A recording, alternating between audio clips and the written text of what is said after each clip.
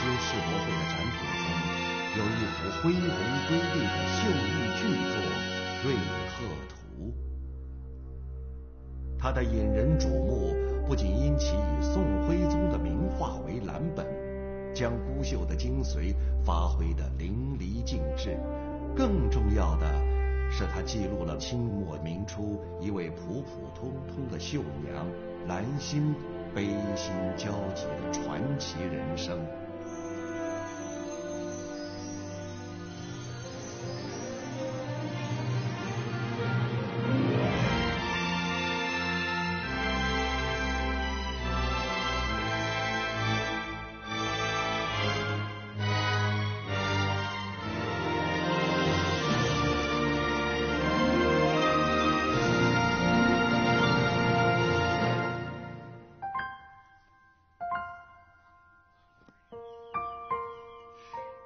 真主子，但愿这方锦帕能为你骑来齐天鸿福。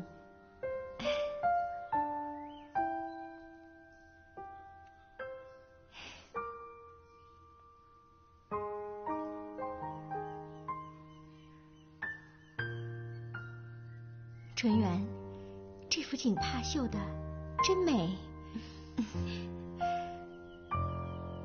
但愿借你的吉言。心想事成。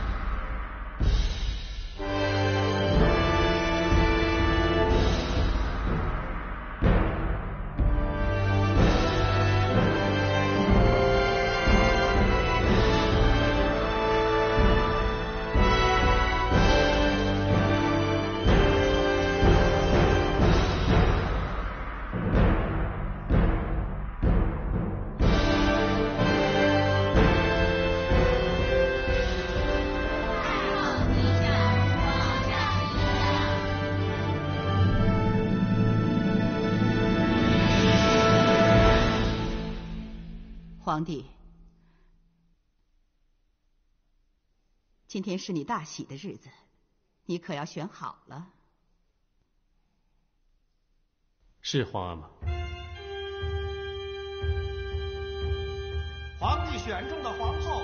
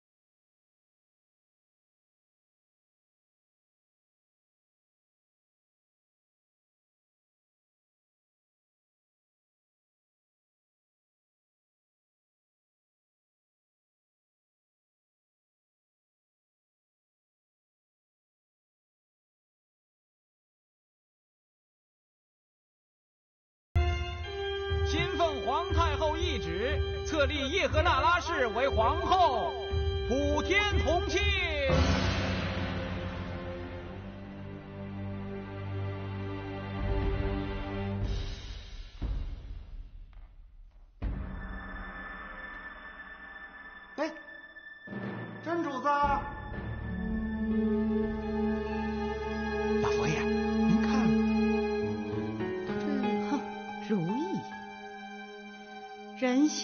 心不小啊！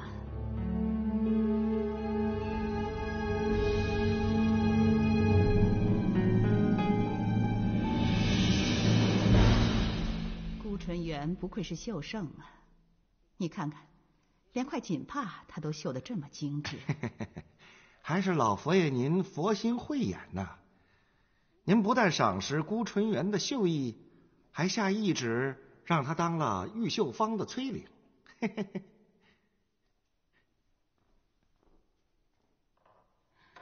江南的孤绣好啊！老佛爷，三年一度的绣娘预选该开始了吧？哎，要不要？让奴才再到江南为您选一些绣娘来呀！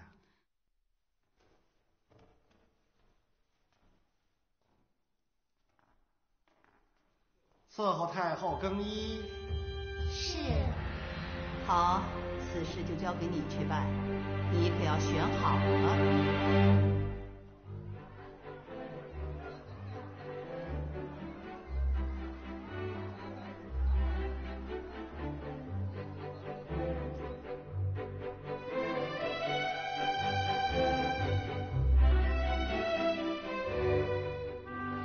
刺绣的针法呢，大概有二十几种，啊，嗯，可是我们孤家在这二十几种的基础上，又演变出了几种，啊，你看，那个呢叫套针，它的特点呢，主要是用于针脚容易镶嵌。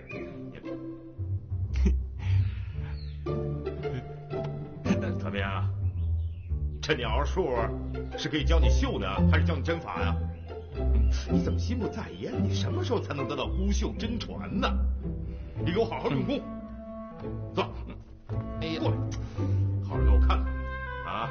这种针法为失针，如果绣鸟的羽毛的时候呢，这种针法先在枯绣的底子上，然后呢再加绣鸟的羽毛的针路，这样呢层层施绣，就能表现出羽毛的质感啊！你给我好好看看。这种针法叫滚针，滚针呢也叫取针、扣针、咬针。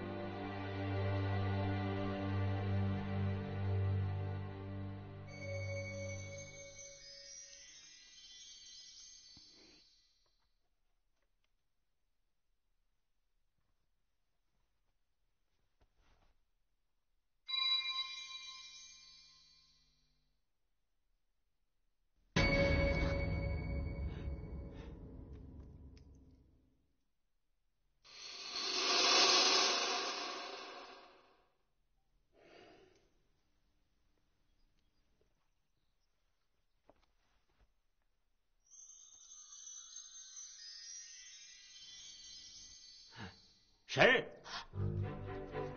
站住！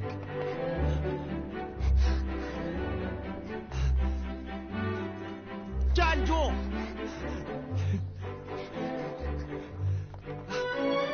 陈明，你给我回来！哎呀，站住！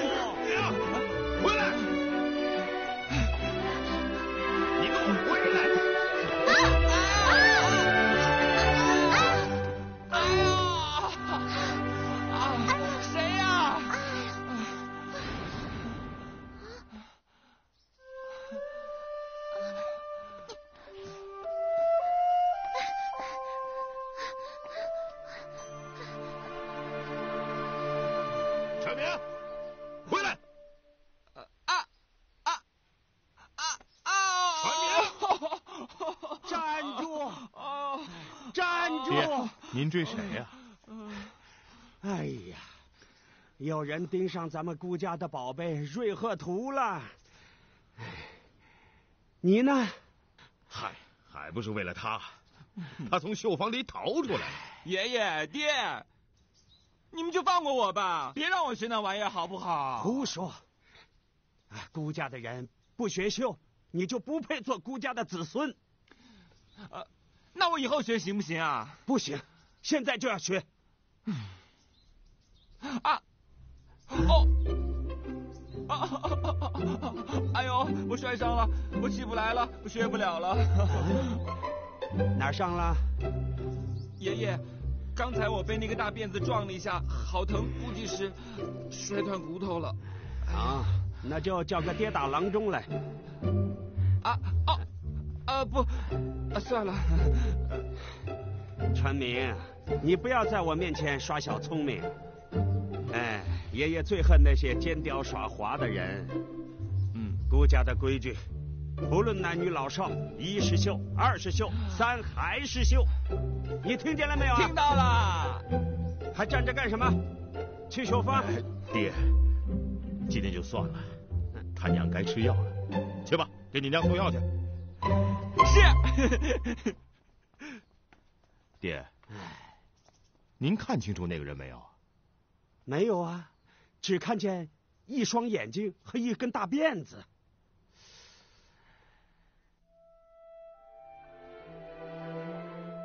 娘，该吃药了。啊，川明啊，学堂的事怎么样了？哎呀，别提了，爹都不让我回杨学堂念书，他说我把辫子都给剪了，不像顾家的人了。你知道吗？你爷爷让你从洋学堂回来，就是想让你继承顾家的绣业的。娘，要不然你跟爹说说吧，还是让我回洋学堂念书吧。我一个大男人，将来总要做大事的，整天围着什么绣啊丝啊的，会有什么出息？我怎么能说动你爹呢？吃药吧。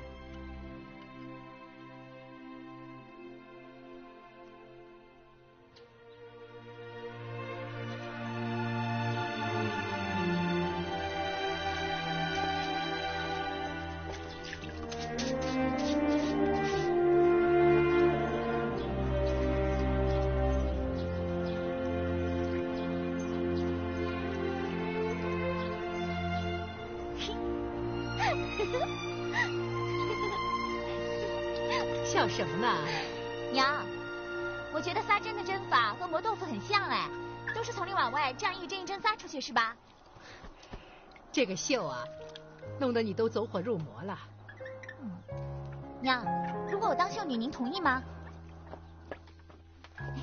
别说你呀、进不了这个绣坊，就是能进呐，娘也不让你去。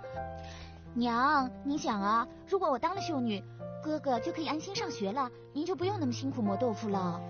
娘做豆腐做惯了，不辛苦。娘可舍不得你去啊。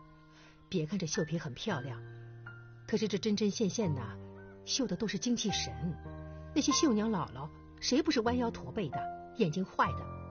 娘不能让你去。娘，我喜欢绣。喜欢也不行。娘，都听着啊，入夜之后也严加看管。是。啊，干嘛要这么多人守在这儿？还不是为了那幅图？爹，爷爷，是什么宝贝要这么保护起来啊？你知道这是一幅什么图吗？我知道宋徽宗的《瑞鹤图》。你曾祖父啊，最喜欢宋徽宗的画，宋徽宗的花竹、鸟兽的工笔画呀，你曾祖父啊都曾临摹绣过，上供朝廷，嗯、为此还得到了先帝御赐的金匾“锦绣江南”。嗯，你曾祖父生前最大的愿望就是绣一幅《瑞鹤图》，因为《瑞鹤图》。它可以施展孤绣独特的针法技法。爷爷，真有这种绣痴啊？哎，这话你倒说对了。你曾祖父是绣痴，你爷爷是痴绣，你爹是不吃不绣，你呀，我是不绣也不吃。放肆！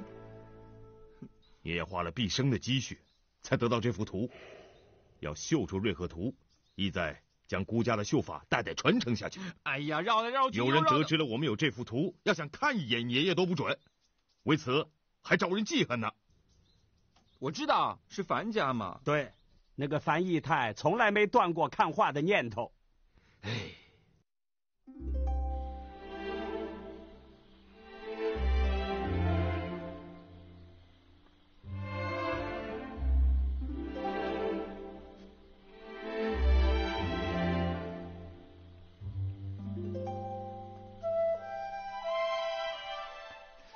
绿珠。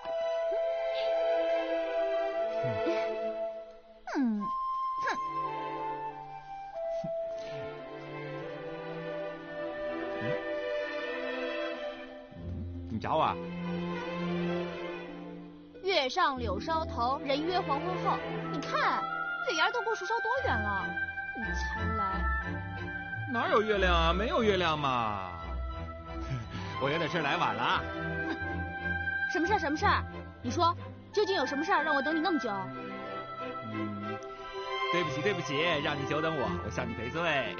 传明，我告诉你，你是我的。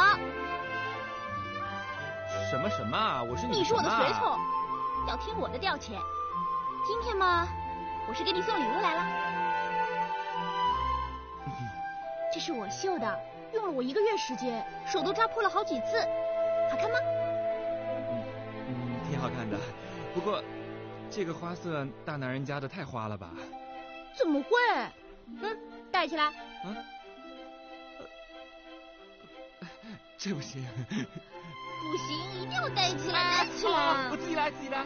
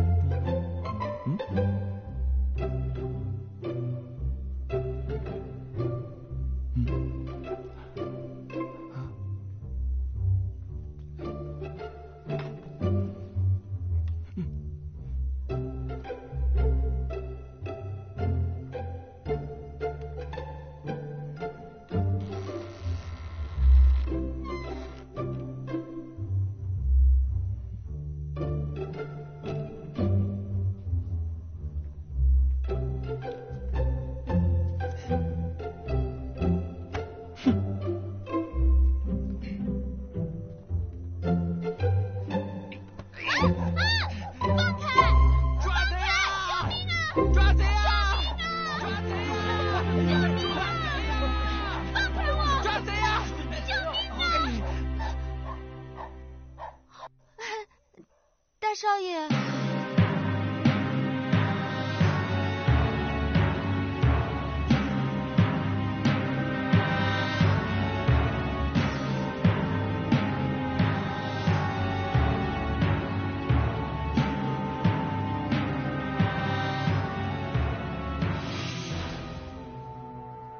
你是谁？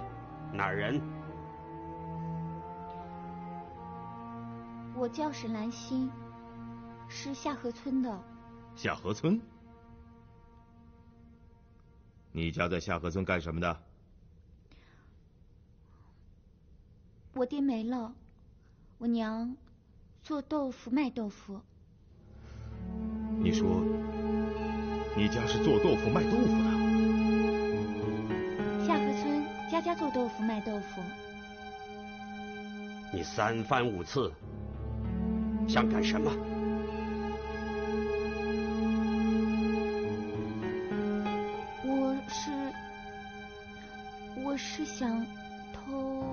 东西？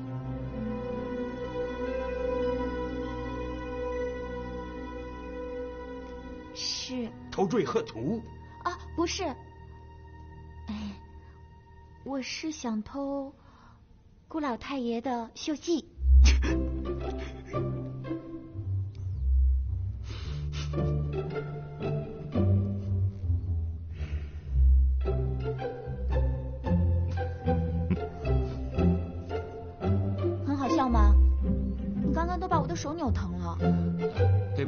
辫子。啊不。对不起沈兰心。我吓着你了吧？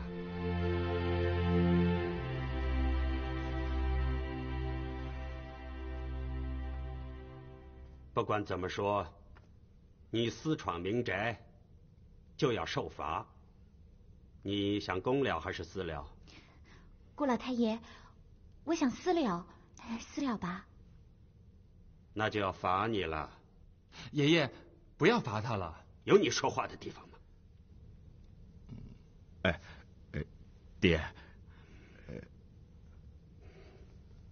既然有人替你求情，我也不为难你。来人呐，把他送回去。不，顾老太爷，还是罚我吧，我愿意受罚。求求您，还是罚我吧。真奇怪，听说过要奖赏的，还从没听说过求惩罚的呀。我是真心诚意的想受罚的。嗯，不过顾老太爷，这个惩罚的条件。可以让我提吗？你要什么惩罚？罚我在顾家做绣工吧。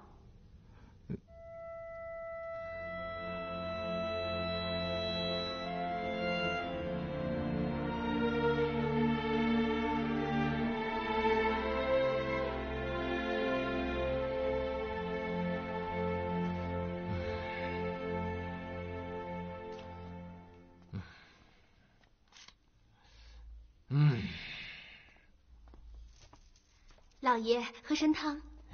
去去去去，去把丽珠给我找回来！哎哎哎哎！小妈，我爹呢？在里边生气呢，你快进去看看吧。哦。嗯。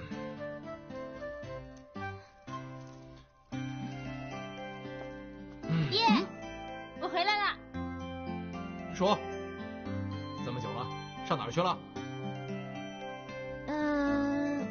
我到各个绣坊看看，取取经哦。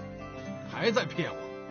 我已经派人到各个绣坊去找你了，根本就没有你的人影。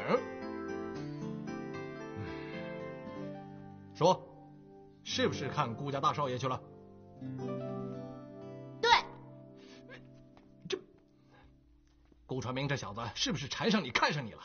他真是癞蛤蟆想吃天鹅肉。我找他算账去。你站住！是我看上他，缠上他，约他见面的。啊！哎呦喂，我的傻闺女，你是不是真的在犯傻呀？绿珠啊，你是有才有貌，你还是千金小姐，你配个三四品的官老爷爷都绰绰有余，你怎么就看上孤家的臭小子了呢？哼，他除了长得细皮嫩肉的，他有什么好啊？我就喜欢他，就喜欢上他了。胡闹！闺女啊，你一生下来，爹就给你算过命，你就有做贵妃娘娘的命，你知道吗？贵妃，我在这小镇上怎么进宫做贵妃啊？做秀女进宫啊！闺女啊，过两天朝廷又要选秀女了，爹为你准备了这幅画，让你好好的绣。如果你的绣品被皇宫选上，你就可以进皇宫做秀女了。做了秀女就可以当贵妃娘娘了。做贵妃有什么好？嘿，做贵妃好啊！做贵妃要什么有什么。哎，正好正好，做了贵妃之后我就要传名。哎，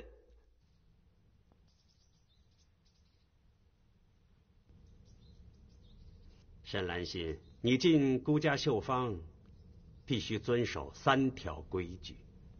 是。一。孤家的绣技具有其独特性、私密性，不得外传。是。二，进了孤家绣坊，绣品不得外流。是。三，要进孤家绣坊，先从磨针开始。磨针。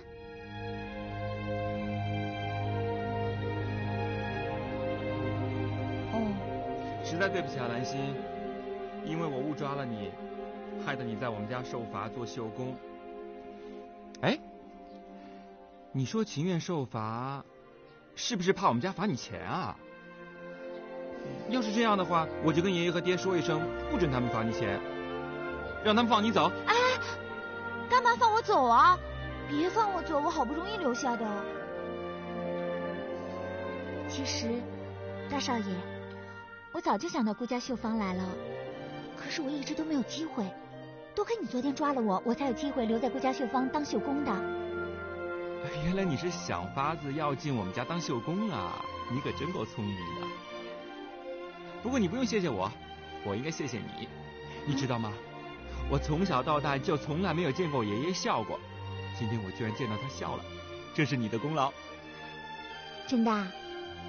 嗯，那你怎么谢我？你想我怎么谢你啊？哎，带我参观一下你们家绣坊吧。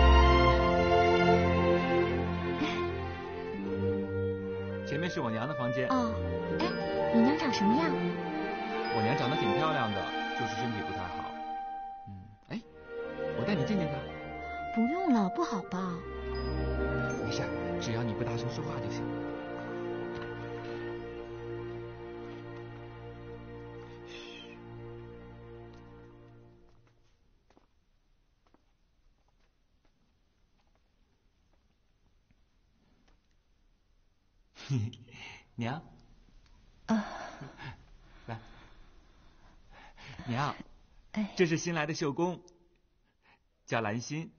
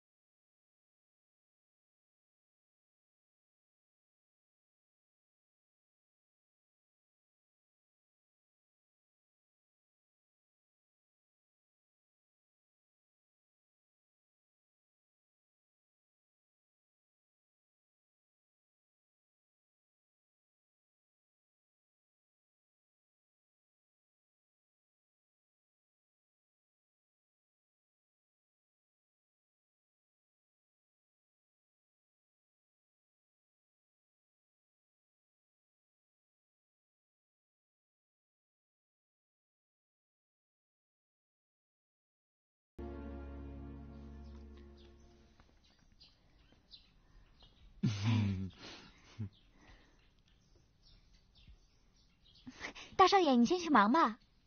不，我要看你魔针。哎，魔针有什么好看的？不好看。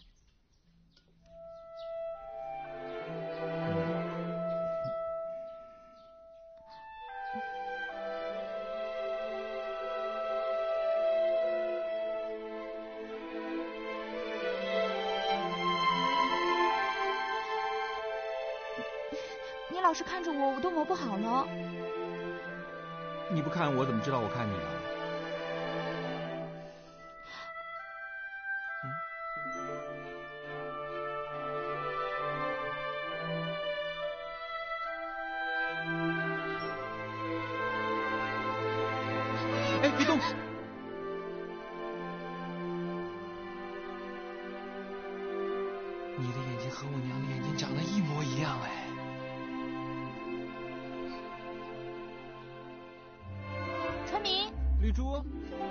你怎么来了？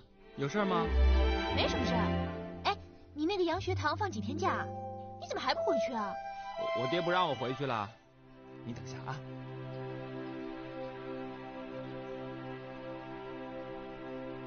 你家新雇来的佣人啊？不是，他是新来的舅公。一看就知道是个乡下野丫头。你说话客气点儿，他是我新认识的朋友，又没招你。不可以，他怎么配做你的朋友？我不允许。奇怪，他做我的朋友，为什么让你允许啊？你是我的，你要听我的。你只可以和我好，不可以和别人好。你在说什么啊？你也太蛮横了吧！对你我就蛮横了，怎么样？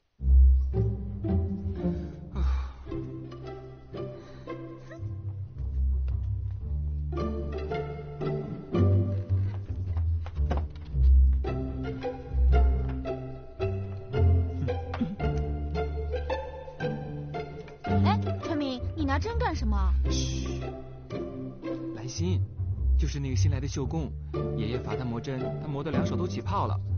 我给他拿了点磨好的针去交差。哎，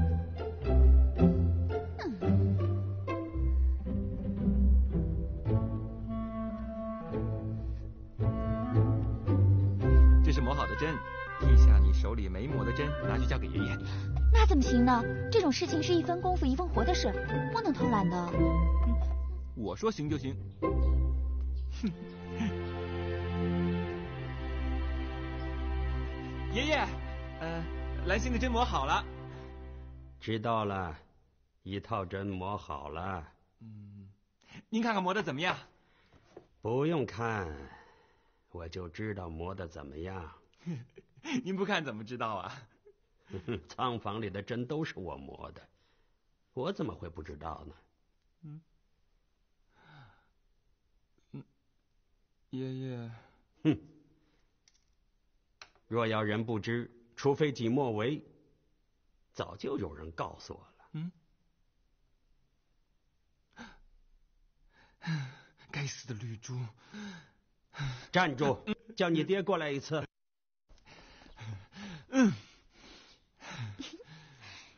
大少爷，没骗过你爷爷吧？你怎么知道？因为你忘了一个最基本的常识：磨一套针需要多少时辰？嗯。呀，你的手真的给磨破了？啊，没事。不不不，你看，真的没事。好多血啊！哎没事的，大少爷。不行不行，你不能再磨了。没有。再磨就出好多血了。没事，大少爷。你干什么？兰心，兰心来。绿珠姐姐，你为什么要推我？哪里？你没站稳吧？绿珠，你太过分了。我喜欢。你没摔跤吧？没事。爹，您叫我啊，松浦啊。呃，听秀芳之间传说，朝廷马上又要开始选秀了啊。哎，以孤家在荷塘镇的地位和身份，孤家应该有女进宫啊。但孤家没有女孩子了。我想让韩香他们一家回来，让外孙女潇潇绣一幅绣画，如此也算孤家有女进宫了呀。好的，爹，我马上写信让妹妹一家人都回来。嗯。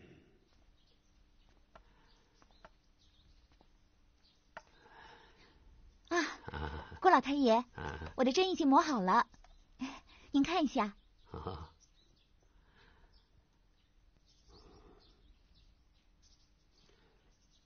嗯，这些天让你磨针，看得出来你是个静得下来的姑娘。你现在可以去绣坊了。真的，老太爷，谢谢。这么爱绣的姑娘，应该生在姑家才对呀。老太爷，我现在能去了吗？啊啊 啊！不着急，不着急啊。呃，你先把绣针洗干净啊。包好了，送进仓房了，你就可以去绣坊了啊！我知道了，谢谢老太爷。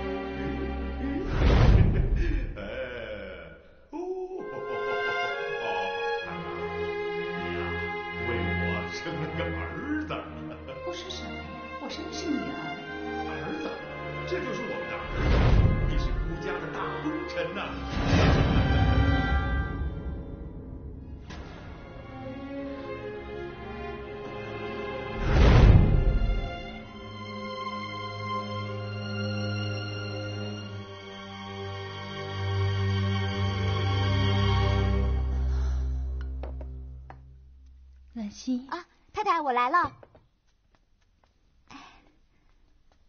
太太，喝点水吧。谢谢啊。你好些了吗，太太？啊，我好多了，这是老毛病了，不要紧的。哦，太太，您身体太弱了。都是生孩子落下的病根。你娘身体好吗？我娘啊，我娘身体可好了。我娘说，她生我的那一天还在外面卖豆腐呢，结果肚子一疼，一个时辰不到就把我生下来了。啊，你你娘她卖豆腐啊？啊，那应该是下河村的吧？对呀、我们下河村家家做豆腐卖豆腐。你你是哪一年生的？我是丙戌年生的。你名字里带一个兰字，是因为我是兰月生的，我娘说生我的那一年，我们家兰花开得特别旺，所以我娘就给我起名叫兰心。兰月？对，我是七月二十八生的。七月二十八？太太，您怎么了？没什么。我觉得这个日子啊，挺好的。娘，娘，大少爷，娘，你怎么了？啊？传明啊，娘刚才晕倒，是兰心姑娘扶娘进屋的。啊，谢谢你啊，兰心。干嘛那么客气啊？太太，如果您没事的话，我先回绣庄干活了。啊，传明啊，嗯，娘现在没事了，你陪兰心姑娘到绣房去好吗？娘，您真的没事了？没事了。嗯那你好好休息啊。嗯。太太，我下去了。哎。哎，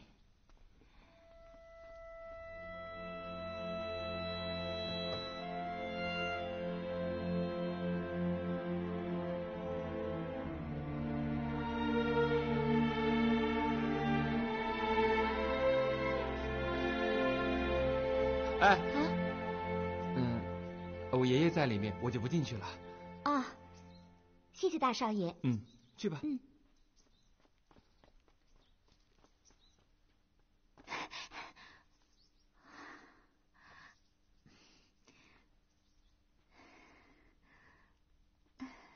老太爷，嗯，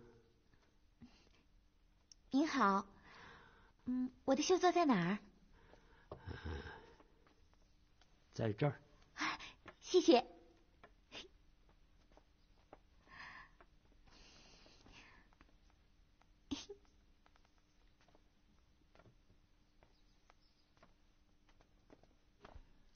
连云，连云，